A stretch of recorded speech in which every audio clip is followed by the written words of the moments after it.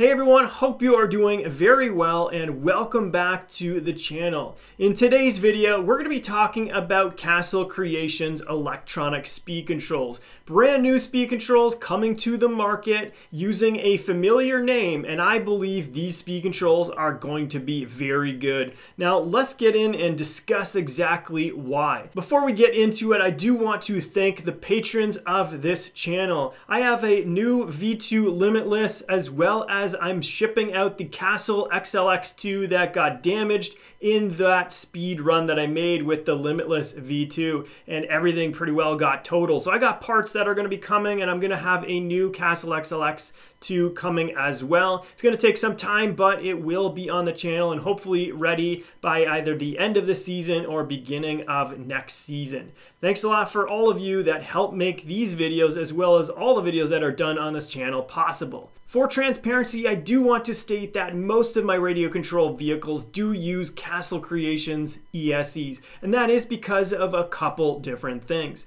If you're anything like me and you love speed, this is what Castle Creations ESCs have allowed me to achieve. And then the second item is this channel is all about reliability, and this is how I'm able to make my systems very reliable for the amount of performance and how hard I'm pushing these ESCs. This is just what I have found within my own experience. However, that was not always the case. Back in the day when I raced radio control boats, this is probably around 2007 to 9, I used Castle Hydra 120 amp ESCs as well as the Castle Hydra 240 amp ESC. And I had a bunch of trouble when I was blowing these ESCs up quite easily. This is also knowing that I was not pulling anywhere near the maximum amount of continuous current from these ESCs as I was data logging all of my runs. And that's where we arrive here today. Let's take a look on the website what Castle Creations is currently offering for radio controlled boat ESCs. Just on the Castle website here, we can see two versions of the Hydra that are available. On the right hand side, we got the Hydra X.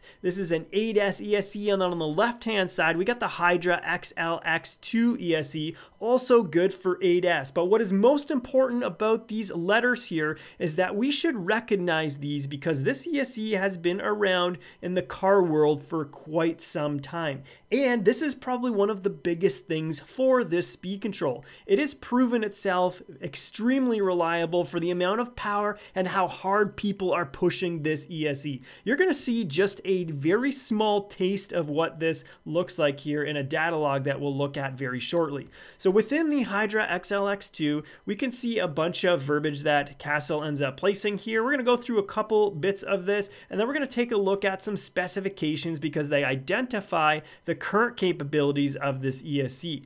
So we'll take a look at that here very shortly. But first, Castle is excited to return to the boat market after a decade long hiatus. This is because they had significant issues with the Hydra version that sold over a decade ago.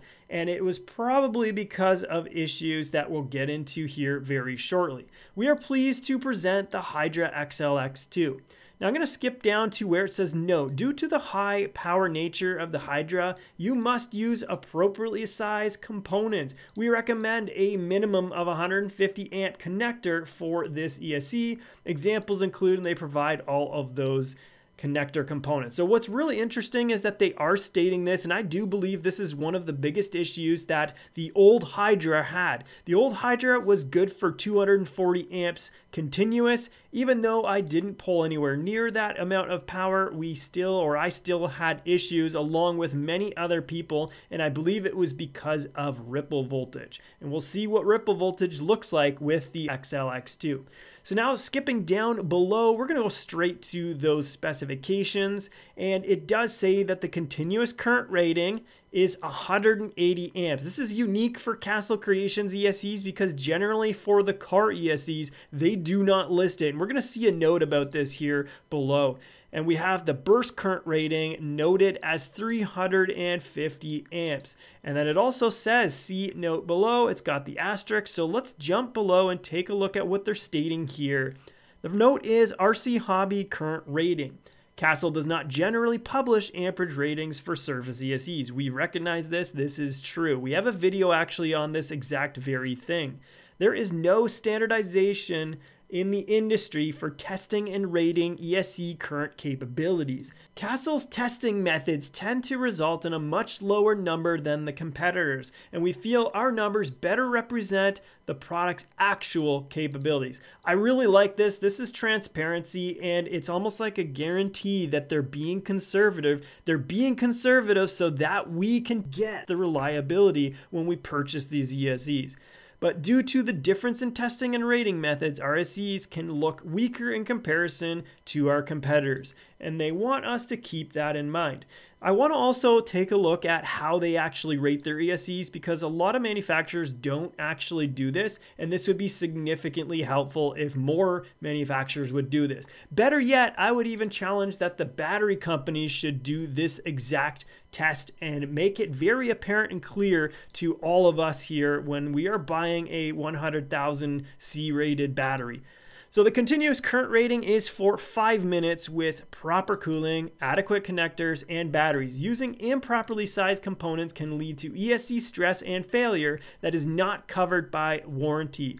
And this is important because if you do use improperly sized components such as batteries that cannot dump anywhere near the 180 amp rating of this ESC and you're pulling that kind of power, you are going to cause stress on the ESC because of ripple voltage. And it goes on to say that the burst rating is for short, momentary periods lasting no more than two seconds. This is really important because a lot of guys ask, well, what is the burst current of my specific components, whether it's a battery or it's an ESC or it's a motor. And the burst current ultimately depends on the timing. Castle Creations gives you that. So you now know that if you're going to be pulling that current rating of 350 amps for two seconds, that that's the limit. Anything more and you are exceeding that limit. Now that we've seen this, I want to switch over to this Castle Creations data log. I made this quite a while ago, um, uh, several years ago. This was my very first run with the XLX2 on 8S. This is definitely not the highest out there in terms of the amount of power that you can pull from this.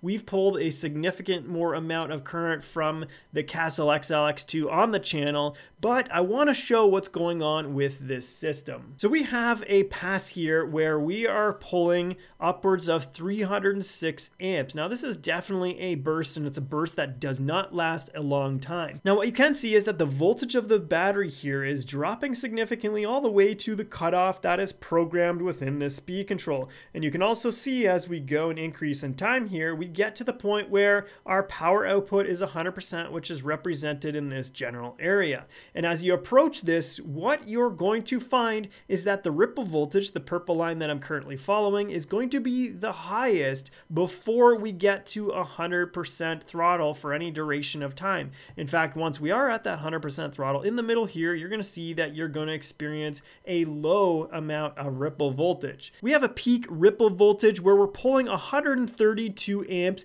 and that ripple voltage is 1.30 volts. So 1.30 volts, this is interesting. I'm going to bring a calculator calculator into this as well. Why don't we go the whole nine yards here and enter in these values. So we just saw ripple voltage of 1.3 and now we need to divide that by the nominal voltage of our battery pack. We are doing this because we want to see is our speed control at risk of failure. We use the nominal voltage of the cell of our lithium polymer battery pack. That's 3.7 volts per cell. We multiply that by eight cells and then we are dividing our initial ripple voltage by this 29.6 volt nominal. And we're gonna get a percentage of 4.4%. Now 4.4%, it is a decent amount of ripple voltage. However, it is lower than 5%. If your system is hitting less than 5% ripple, that is going to be okay. Once you get over the 5% mark, then you should start to consider using a cap pack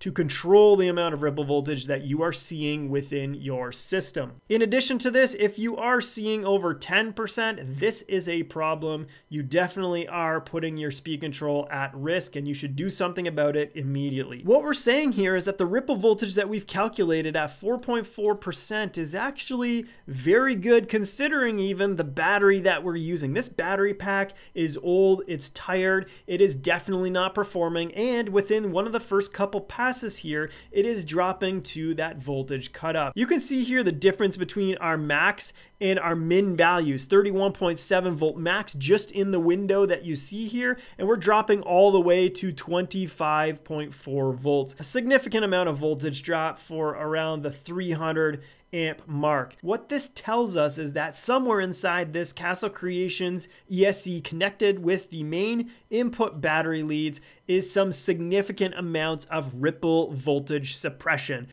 However, you still need to make sure that you're sizing things correctly, as Castle points out, and make sure that you are monitoring the total amount of ripple voltage that is occurring within all of your runs so that you can make certain that you are not exceeding any type of limitation there as well. This Castle Creations ESC definitely has some high expectations from me. I expect to see lots of guys using them in your standard and typical type of installations, and I would expect to also see guys who are using them in their speed run vehicles, otherwise known as SAW, your saw type runs out there in boats. Well guys, that pretty well does it for this video. I hope you enjoyed it. As always, like the video if you do, and don't forget to hit that sub button so that I can see you guys in the next video. Thanks a lot for watching. See you in the next one.